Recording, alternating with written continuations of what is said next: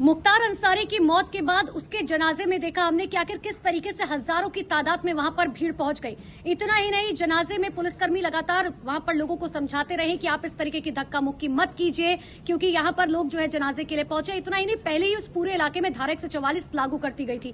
Police ने पहले ही कहा था कि मिट्टी डालने के लिए लोग वहाँ पर ना पहुँचे, सिर्फ़ परिवार के लोग ही वहाँ पर पहुँचे। लेकिन हमने देखा कि आखिर किस तरीके से जब जनाजा वहाँ पर पहुँचा हज़ारों की तादाद में वहाँ पर लोग पहुँच गए, धारा एक सौ चौवालीस का उल्लंघन होता हुआ वहाँ पर नज़र आया। पुलिसकर्मी लगातार माइक से लोगों से इस बात की गुजारिश कर रहे थे कि आप शांति बनाए रखें।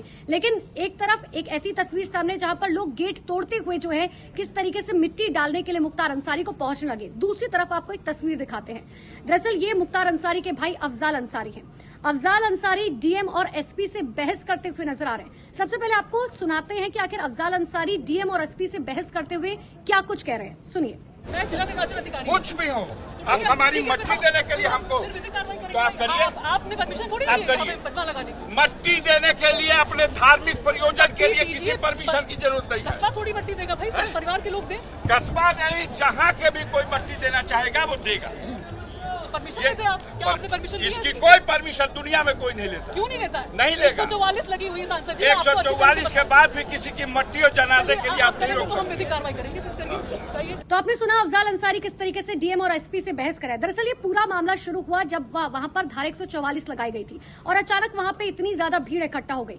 अफजाल अंसारी को लगातार डीएम ये बात समझाती रही कि इस तरीके से यहाँ पर धारा एक सौ चौवालीस लागू है। लोगों को आप खुद मने मना कीजिए परिवार होने के नाते कि लोग जो है वहाँ पर मिट्टी डालने के लिए ना पहुँचे। लेकिन बावजूद इसके, अफजाल अंसारी डीएम की बात मानने की बजाय वो लगातार इस बात को लेकर बहस करने लगे और कहने लगे कि मिट्टी डालने से कोई कानून नहीं रोक सकता है। डीएम बार बार उन्हें ये बात समझाती रही कि धारा एक लागू है, आप इस तरीके से नहीं कर सकते हैं। ये कानून का उल्लंघन है। बावजूद इसके, अफजाल अंसारी बार बार ये कहते रहे कि देखिए, हम जो है या जो लोग यहाँ पर पहुँचे हैं, वो मुख्तार अंसारी को मिट्टी डालने के लिए पहुँचे और कोई भी कानून जो है इसकी इजाज़त नहीं देता है कि आप जो है किसी को मिट्टी डालने के लिए रोक सके।